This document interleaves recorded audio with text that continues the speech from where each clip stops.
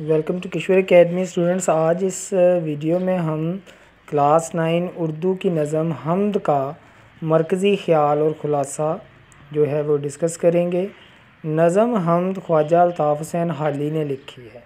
अब पेपर में ये पाँच नंबर का सवाल आता है कि नसाबी नज़म हमद का मरकज़ी ख़्याल या ख़ुलासा लिखें।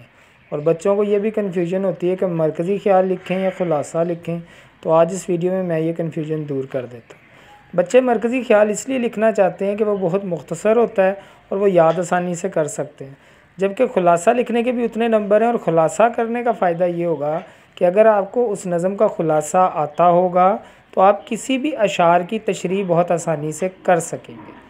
तो मैं दोनों आपको बता देता हूँ, आप लिखेंगे नज़म का अनवान हमद, शायर का नाम ख्वाजा अल्ताफ़ हुसैन हाली, मरकज़ी ख्याल। शायर ख्वाजा अल्ताफ़ हुसैन हाली की इस खूबसूरत नज़म का मरकज़ी ख्याल हमद बारी ताला है। मरकज़ी ख्याल कहते हैं उसके मेन नुक्ते को जो मेन बात उसमें डिस्कस हुई है।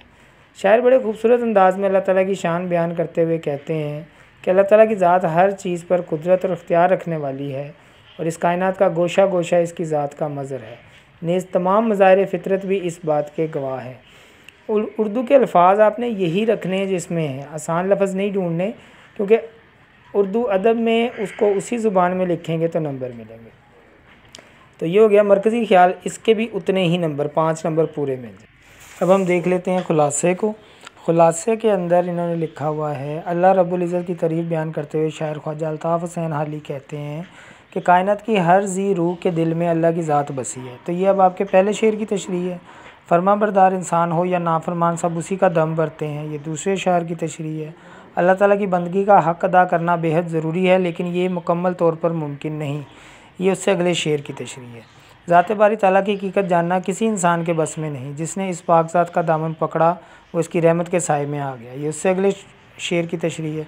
दुनिया के इस चमन में हर तरफ़ इसकी खुशबू फैली है, और अल्ताफ़ हुसैन हाली तो अपने आप पर फ़ख्र कर कि तेरा अंदाज़ सबसे निराला है, कि तेरी बात हर एक के दिल में उतर जाती है। तो ये था खुलासा।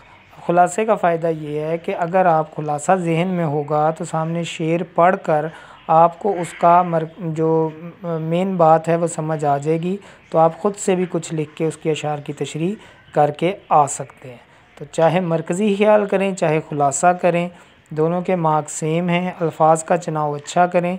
खुलासे का प्लस पॉइंट ये होता है कि आपको जो अशार आते हैं, उनकी तशरी में आपको मदद मिल जाती है।